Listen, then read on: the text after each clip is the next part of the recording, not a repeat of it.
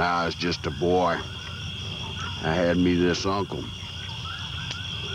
He used to say, Boy, beauty's only skin deep. He is right. Beauty is only skin deep. Heck, once you peel it back, there ain't nothing much to look at at all.